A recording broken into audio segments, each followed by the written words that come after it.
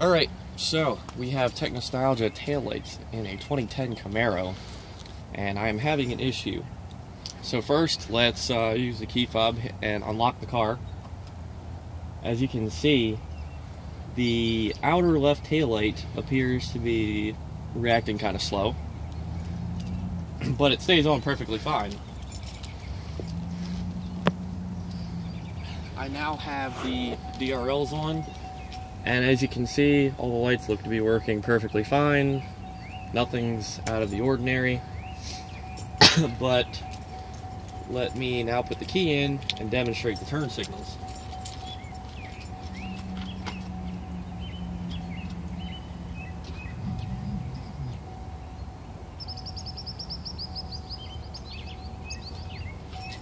So as you can see, the right turn signal works perfectly fine as it should. But the left turn signal works perfectly fine for three times and then it goes absolutely ballistic. The inner one is going way too fast and the outer one is just blinking. The top part doesn't look to be lighting up at all. It looks like just the afterburner ring and the LEDs on the inside and they're not lighting up all the way like they normally should when you're using the turn signal like the other side did. Uh, so, if we go in the trunk now,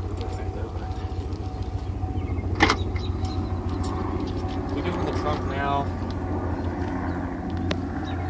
we see uh, everything's connected.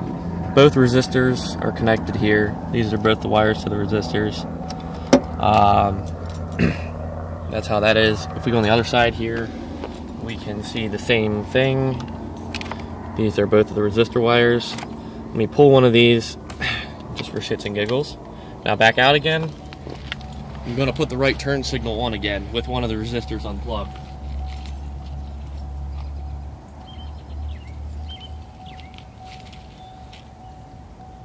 As you can see, it's kind of the same thing. Um, and a YouTuber, or no, not a YouTuber, a guy on Camaro 5 forums named Mr. Sarge actually looked into this issue, and he found that the inner light blinking rapidly too fast is a result of a failed resistor, or at least that's the conclusion that he came to. Uh, I don't know if he ever fixed the issue, but it appeared that he did. So I'm thinking it's a failed resistor, but I'm not completely sure. But these are the symptoms. Uh, I've tried making sure everything's plugged in properly. Everything's plugged in as it should be. All I did was take everything apart and put it back together. And it works perfectly fine for the first three uh, blinks of the left turn signal, and then it just goes ballistic. And also,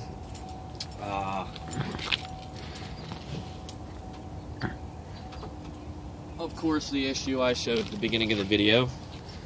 When you unlock the car, the outermost housing is a little slow to respond. And it also looks to be a bit darker. I can't tell if that's just my eyesight or what. But it's kind of annoying. It's actually really annoying. Um, and I'm thinking maybe there's a lack of resistance, but I don't know a lot about electronics. I don't know about I don't know what in the circuit could be causing this kind of behavior. Well, that's it. End video.